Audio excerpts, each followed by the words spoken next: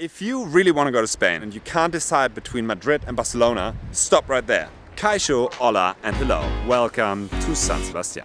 San Sebastian lies in northern Spain at the Atlantic coast in the Basque Country. The Basque Country is a region that spans parts of Spain and France and has its own culture and language. San Sebastian has always been tapped as a hotspot to holiday by Spain's elite. Food, beach, city life, it seems to have it all. Let's take a closer look. Point number one on San Sebastian's list of awesomeness, its city beaches. There's one beach on each side of the Urumea River. The northern, more exposed Zurriola beach is popular among surfers.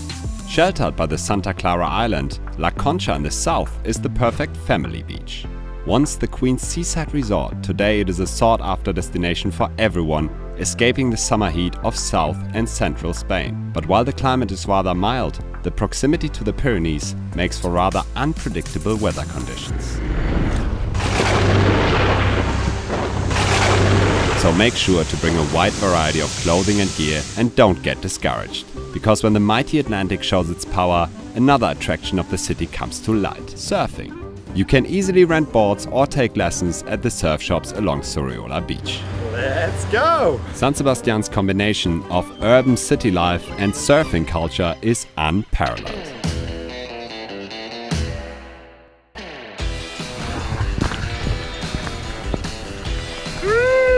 Just be aware that as soon as there are waves, you'll find hundreds of surfers out in the water.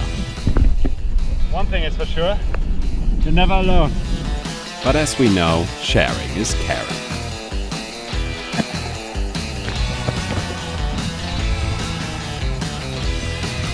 And there's more. San Sebastian was voted Europe's Culture Capital 2016 and you don't even need to buy expensive tickets to see great art all over the city. Famous sculptures of artists like Jorge Oteiza or Eduardo Chillida turned the city into an open-air museum.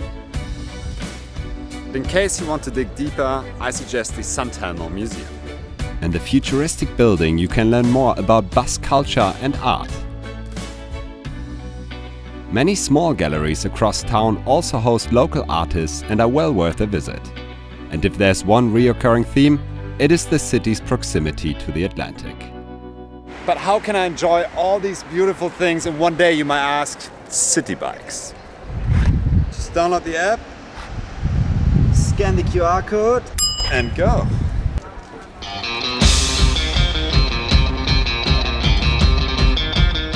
The BC City bikes are electric, very fun to ride, and a great alternative to expensive day rentals.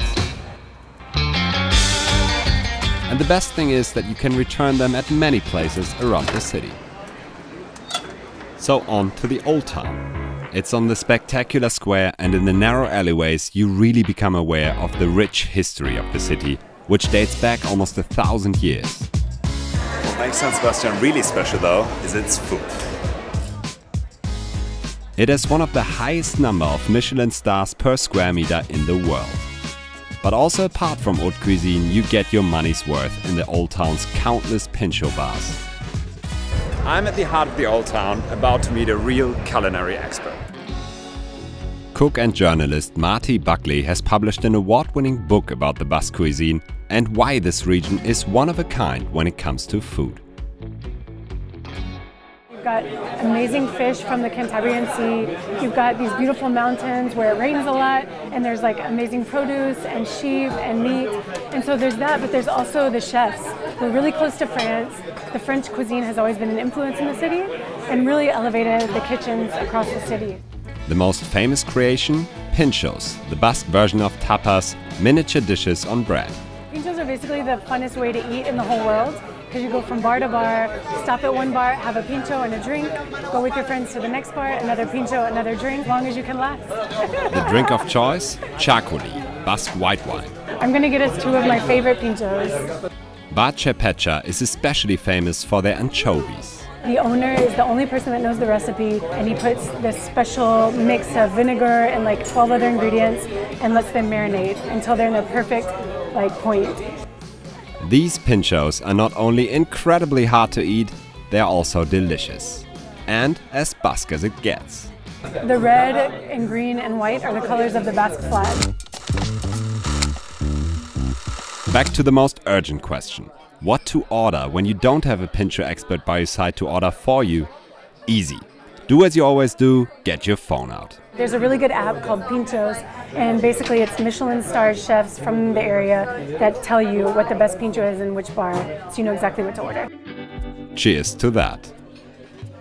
But let's not stop here.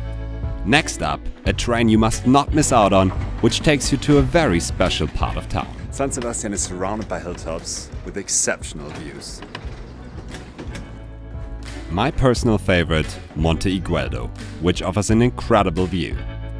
And is nothing short of a breathtaking experience with its small amusement park at the top of the mountain. Roller coaster with a view. What's left to say? Thank you very much for watching. San Sebastian, it's been a ride.